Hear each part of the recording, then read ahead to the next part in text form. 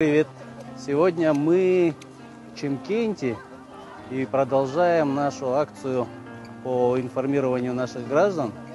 Сегодня мы будем в Чемкенте раздавать а, листовки, информационные листовки, которые будут помогать гражданам связаться с нами, изучить, что мы предлагаем и кто мы вообще есть и что из себя представляет партия Алла Казахстан. Информации там а, немного на этих листовках, но есть ссылки, по которым можно переходить. Жанна. Да, всем привет.